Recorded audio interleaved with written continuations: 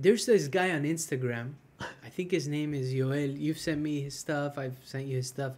He's um, him and his wife. They're Cuban immigrants, but he just got here Yeah, yeah. within a few years, and he goes through different things. He goes to the grocery store, and he's super emotional that he's seeing food all over the grocery store. He goes to uh, he has his first like In-N-Out burger. Oh my God. He has his. Uh, he went the other day to uh, uh, the ninety uh, Key West, the Uh-uh. buoy. Oh the yeah. ninety mile from Cuba. He hugged it, He right? hugged it and he was crying. I there. saw that. And he says, you know, all the Cubans that died trying to get here. So it's interesting. His it's a perspective that I think is very, and that's what I'm getting to. Is the guy this morning, our buddy at the cafe, says, I want to go to Guatemala. I like traveling. I like culture because when you come back, you appreciate a lot more what you have. You're a different man, a different woman. Yeah. And that's just one country. We're talking about Cuba because I was born in Cuba. Yeah.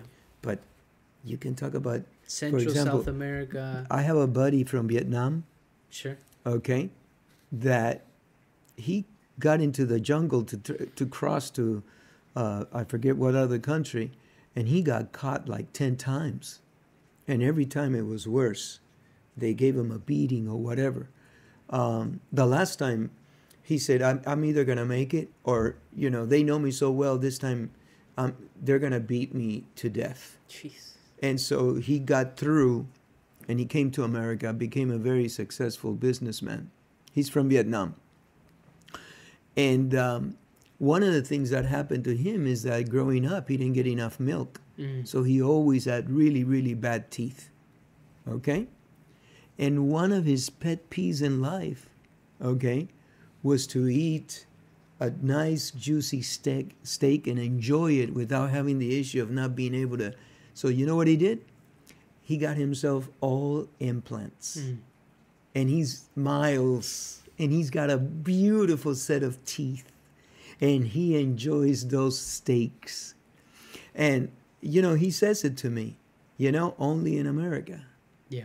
if i had stayed in vietnam i could not have done it and we're going back right when they were being occupied by communists Yeah. but but the thing is that um, in order to make it, when he opened up his business, he was sleeping in his business.